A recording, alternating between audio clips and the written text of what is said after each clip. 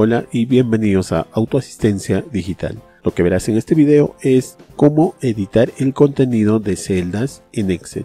Para ello utilizaremos tres métodos para poder editar el contenido de las celdas. Bien, entonces empecemos con la primera manera. Seleccionamos como celda activa la que vamos a cambiar el contenido.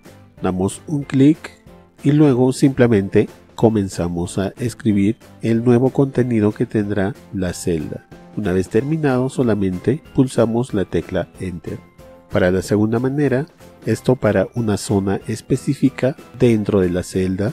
Para no borrar todo, vamos a dar doble clic en esta parte y podremos editar solamente esa parte.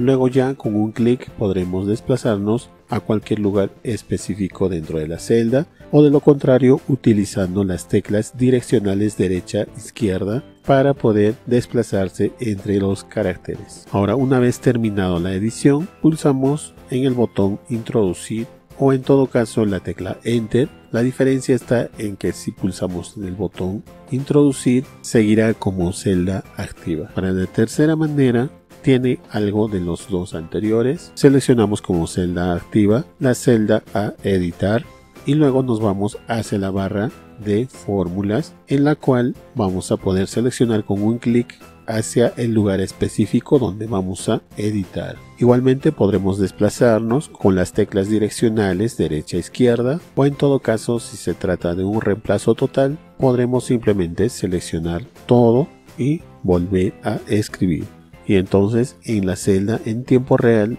veremos el cambio que se está dando durante la edición. Al terminar solamente pulsamos enter o caso contrario el botón de introducir.